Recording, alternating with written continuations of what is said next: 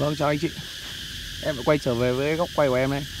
Thì à, Tiếp tục em à, quay đến một cái cây kiếm khác. Hôm nay em lại giới thiệu kiếm về cái cây kiếm gọi là bây giờ hiện giờ. Người chơi bây giờ là tháng 4 năm 2019 Thì hiện giờ là uh, uh, là, là, là, là cây này đang nở tại Hà Đông thì em à, làm video giới thiệu về cái cây à. hiện giờ tên gọi của nó là trắng ánh tím thái hạ thủy nguyên. Thủy nguyên đúng không? Cái này cái thủy nguyên.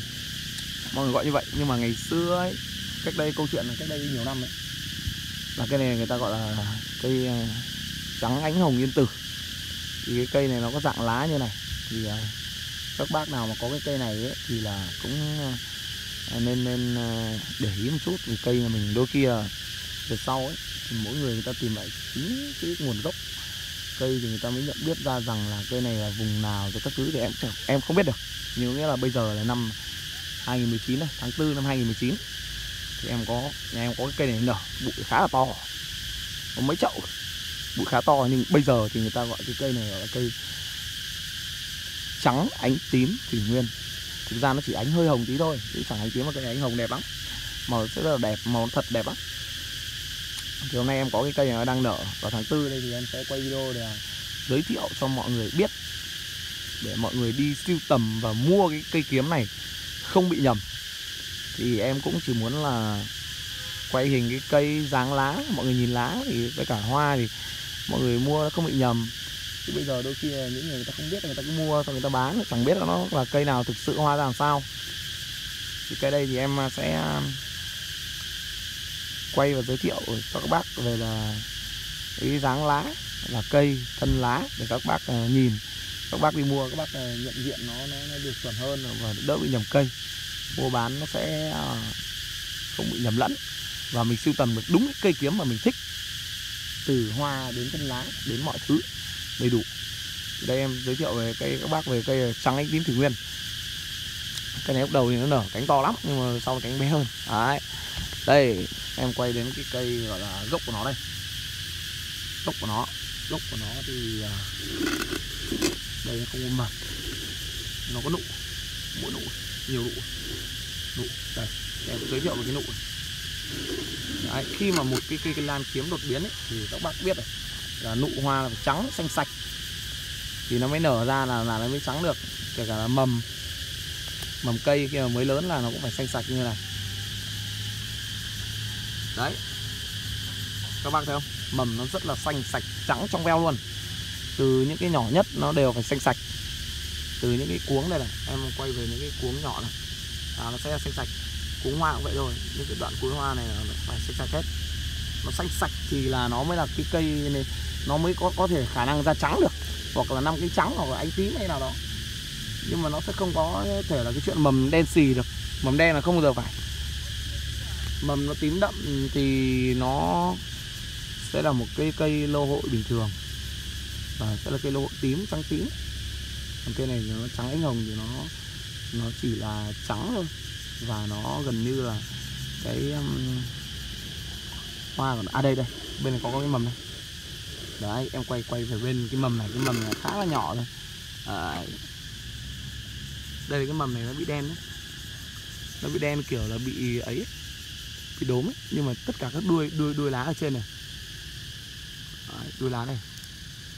Xanh xanh đến tận đỉnh luôn. Rồi xanh hết xanh sạch hết này. Đỉnh lá.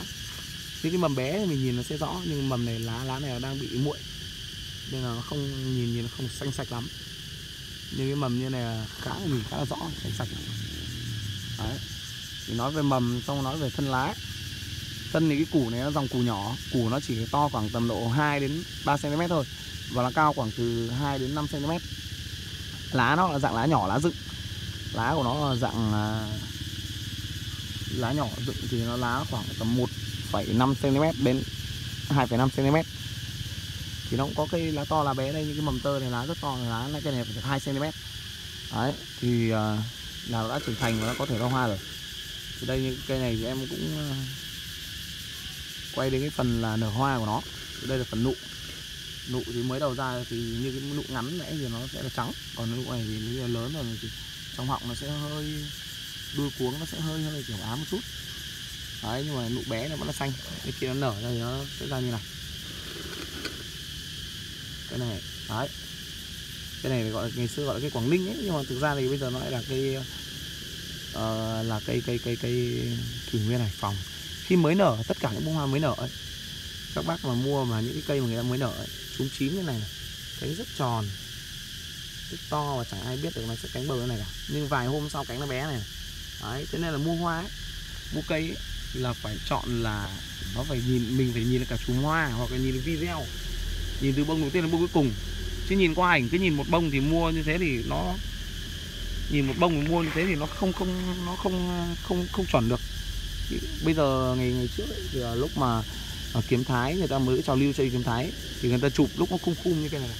Đây này bông này đấy bông này là bông khung khung khung mới nở thì nhìn cái cánh rất tròn rất to bầu đẹp. Đấy cánh bầu rất đẹp nhưng đến khi mà người ta nở vài hôm ấy, thì cánh thì bé này này này. Đấy, cánh bé tí. Đây là cùng một cân hoa đây. Nhưng mà về cái màu sắc với khuôn bông thì nó không thể phá được. Nó sẽ là ổn định. Đời bông này trúng chín nữa sinh thái là người ta rất hay chụp cái này trúng chín. Trúng chín thì nhìn bông nào chả tròn. Đấy, bông nào chả đẹp. Nhưng có cái là khi mà người ta khi mà nó nó nó nó lên đến một cái gọi là nở được vài ngày ấy, thì cánh nó sẽ quăn. Đấy thế nên các bác mua hoa là phải nhìn kiếm như kiếm này phải chọn những nơi uh, người ta bán thực sự người ta ấy. Người ta, ta phải có cây nở rồi và người ta biết rằng là cây này như thế này cây kia như thế kia. Chứ bây giờ mà cứ cây mà chụp ảnh thì trông bông cánh tròn cánh mai to đẹp ấy thì khi nó nở ra thì cánh nó rất là bé bởi vì là nó quăn cánh nó quăn thì nó sẽ bé hơn bởi vì nở vài ngày mà. Còn mới nở thì cây nào nó cũng cánh tròn hết. Cây nào cánh nó cũng tròn mà nó chẳng có cây nào cây cánh cũng tròn nó khum khum. Chụp lại càng tròn đấy như cái này, này các bác nhìn. Đấy.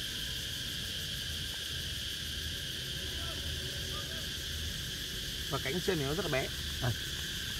Đấy. Cánh bé mà chẳng to. Nhưng mà với những người chơi lâu ấy thì người ta nhìn thấy người ta biết ngay. Như em người ta là em nhìn biết ngay em biết rằng là bông bé này nó cũng là cây này. Còn khi mà ai đưa cho em một cái ảnh nào mà bông nó như thế này em biết nó cây nào. Bởi vì khi mới nở mà cái kiểu nhìn mới nở mình biết ngay. Khi các bác chơi lâu nó cũng là là là là là các bác cũng biết thôi. Là mới nở thì cánh sẽ bầu đẹp như này còn nở vài ngày thì cánh nó bé này. Đấy thế nên là mình mua hoa đôi khi không nhất thiết là uh, không nhất thiết là mình phải uh, cứ nhìn hoa tròn mình mua. Bởi vì quan trọng là cây tròn hoa cánh bầu nhưng là nở bao nhiêu ngày rồi hay mới nở hay vừa hé. Đấy thì mua cây thì bây giờ uh, ai mua là cũng muốn cây hoa đẹp cánh bầu cánh tròn to đẹp. Nhưng đâu biết rằng là nở vài ngày cánh nó rất bé đây là cả chùm của nó. Nở vài ngày cánh nó bé đây là dạng lá. Đấy. Cho nên là em cũng không không có ý kiến gì với các bác khi mà các bác mua hay bán nhìn hình ảnh cả bởi vì mua bán rồi chỉ nhìn hình ảnh mà và đôi khi lòng tin nó nhiều hơn chứ đâu phải lúc nào cũng mua được một chậu hoa đâu. Một chậu hoa như này nó nhiều thân mà giá trị nó nhiều tiền. Nó chỉ vài trăm nghìn một củ thôi nhưng mà mua một chậu mấy chục thân nó sẽ là tiền triệu. Mà tiền triệu là số tiền rất lớn để chơi một cây. Những cây này nó là cây rất đẹp đây là dáng lá của nó. Thì mọi người lưu ý nhớ dáng lá và hoa để ờ, khi đi mua là có thể là khi mà mình mình như các bác chưa biết ấy, thì các bác chọn được cây nó chuẩn nhìn cây ví dụ như những cái cây lá to mà lá cong ấy thì đâu phải là cây này đâu cây này nó dạng lá rực mà. À, Đấy chẳng thế. Thì uh, em cũng chỉ quay video để uh, phân tích và nói để, để để sơ qua sơ qua về một cái cây kiếm. Như vậy thì uh, mong là các bác sẽ xem và các bác sẽ tìm hiểu để các bác mua được những cây nó thực sự là chuẩn. Thực sự là chuẩn và nó đúng với lại cây mà bác các bác mong muốn. Hoa thì đấy là em ờ, đây em quay xa tổng thể một chút. Thì các bác có thể nhìn từ hoa thân lá. Thì các bác xem. Thì ờ, chọn được những cây kiếm ưng ý và không mua nhầm. Và em vẫn chỉ muốn nói rằng là nên chọn mua của những người đã từng nở hoa tại nhà. Thì người ta có hoa rồi tin tưởng. Chứ bây giờ mua của mấy ông mà chưa nở hoa chẳng biết thế nào. Người ta thực ra người ta cũng chẳng chẳng chẳng chẳng ý là lừa đảo đâu, nhưng mà người ta, đôi khi người ta cũng bị nhầm cây nọ sang cây kia.